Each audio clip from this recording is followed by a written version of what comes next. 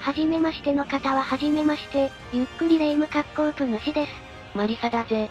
ってことで今回から新シリーズ、足利家編をやっていくよ。今回も天下統一総選挙で選ばれた大名家なんだぜ。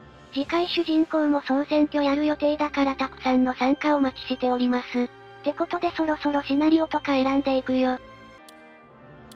今回遊んでいくシナリオは信長元服。これも投票で決まったんだぜ。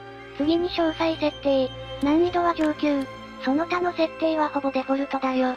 久々に姫武将なしなんだぜ。そして今回の主人公の将軍様だよ。ってめっちゃ気弱そうだけど大丈夫か？とても将軍の意向は感じられないな。いや、もしかしたらギャップでめっちゃ強いかもしれない。とにかく楽しみな新シリーズ開始だよ。天下に名を轟かそうか。新シリーズの開幕じゃー。にしても久々の元服シナリオだな。最近夢幻しかやらせてもらえなかったからね。てか元服ってことは周辺勢力ありまくりだから従属祭りできるんじゃない？将軍家は維新とんでもないから兵力さえ足りてればできるだろうな。独自のエンディング条件とかは後で説明していくよ。ってことでもろもろの確認していこうかな。最初に同盟関係の確認から。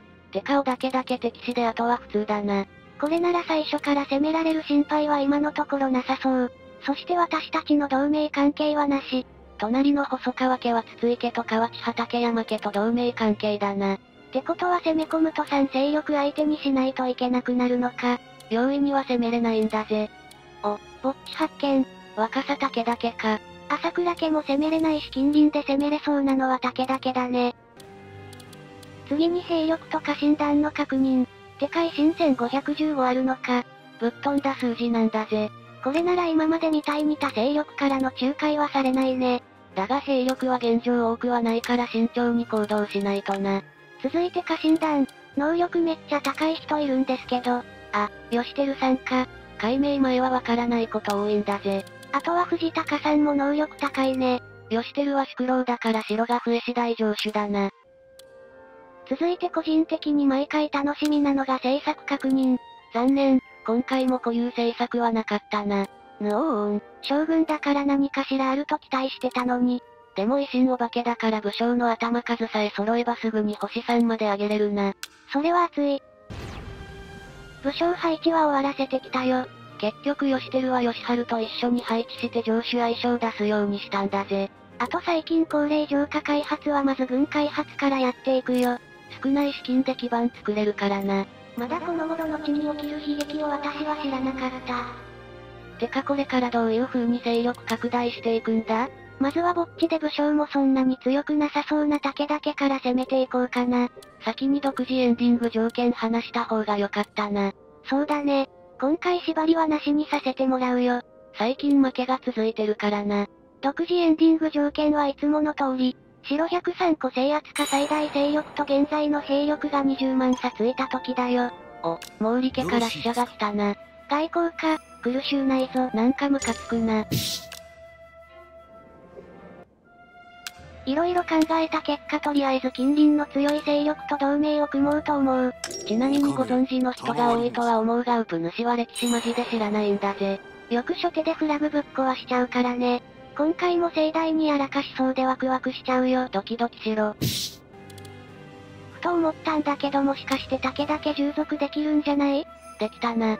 じゃあ無駄に戦わなくていいじゃん。でも吸収するまで家臣の増加はないぞ。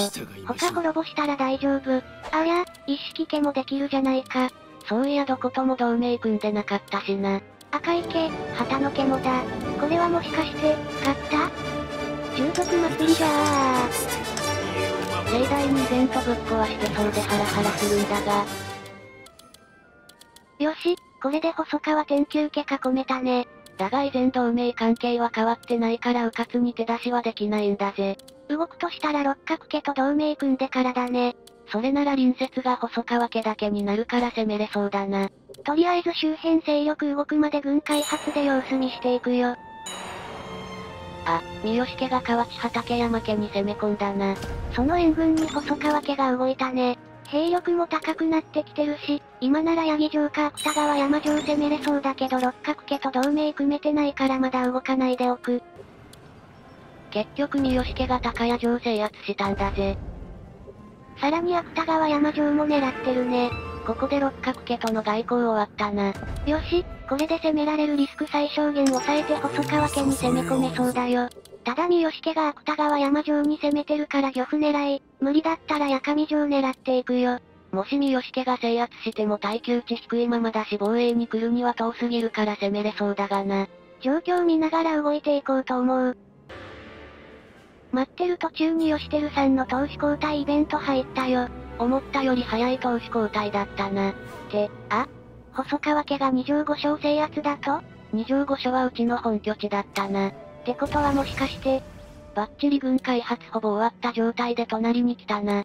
絶望すぎるんですけど、てかそれと同時に細川家の怒りがやばい。これは完全に自分で難易度上げてしまったな。マジかよ、早めに従属してたからよかったものの、また軍開発して兵力上げなきゃダメじゃん。それどころか細川家は三好家に従属してるから、芥川山城攻め込もうものなら昇竜寺城狙われそうだな。二条御所となりだしね。じゃあかなりの期間また動けないじゃん。動くとしたら六角家からの援軍で同時攻撃か、他の従属勢力の援軍呼んでになりそうだな。芥川山城は三好家が制圧。確か三好家と義輝は近づけてはダメだったような。三好家に義輝さんやられたって事前に見てしまったからね。異常なまでに昇竜寺城にまっすぐ来てるから狙われることは間違いないだろうな。こんなことなら早い段階で八木城か芥川山城攻めとけばよかった。軍開発もせずに、本当に軍開発だけは痛かったな。とりあえず兵力上げと周辺がどう動くか見ていくよ。あ、三好家に昇竜寺城攻略目標に設定されたな。やはり来るか、従属先、六角家の援軍と他力本願で守っていこうと思う。1万で攻めてきたぞ。1万もう少し兵力少ないかと思ってたよ。援軍要請できるのは2勢力だな。よし、4で防衛やっていくよ。今が動くべき時ぞ。昇竜寺城防衛戦。兵力不利だからちょこちょこ合戦やって守っていくんだぜ。結局防衛来てくれたのは武田家と六角家だよ。吉輝さん中心に戦っていく。よし、被害も少なめで抑えれたよ。ちゃっかり六角家ばっかりに戦わしてたからほとんど六角家の被害なんだぜ。敵がそう。そごうさんを捕獲できたよ。お断りする。まあ失敗するわな。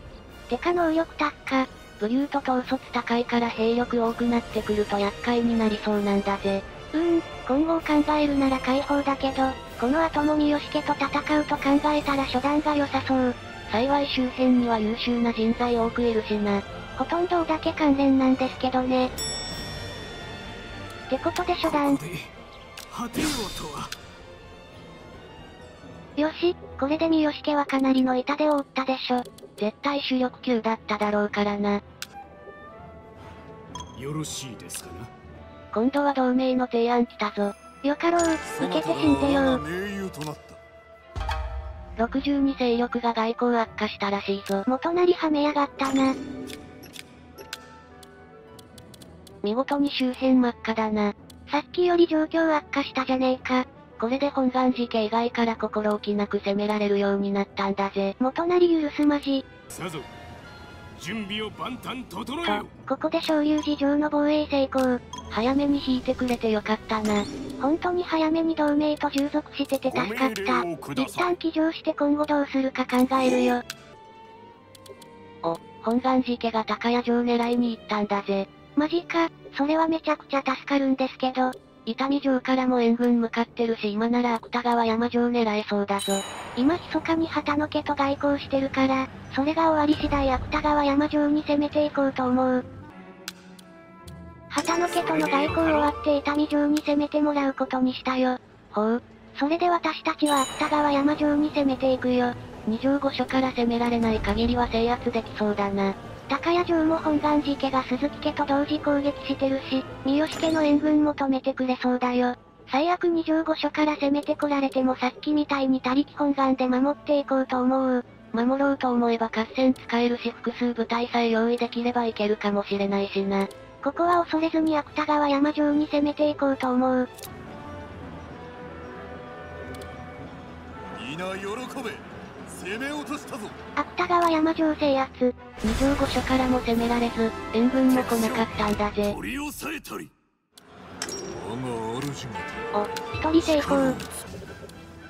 伊丹城攻めは旗の家が細川家の部隊全部倒してくれたよ。旗の家意外と強かったんだな。ただ高谷城が三好家に奪還されちゃったからまた攻められそう。二条御所さえなんとか奪えたら相当状況変わるんだがな。それに関しては六角家が今結構兵力あるから織田家に攻められる前に援軍呼んで奪還しようと思う。今なら二条御所孤立してるしな。ってことで今回はここまでにするよ。色々波乱のスタートだったんだぜ。次回も楽しみだよ。外部サイトで生配信もちょこちょこやる予定だから概要欄から飛んでフォローお願いします。よろしくなんだぜ。チャンネル登録がまだの人は、ぜひチャンネル登録よろしくお願いします。頼んだぞ。それでは、ご視聴ありがとうございました。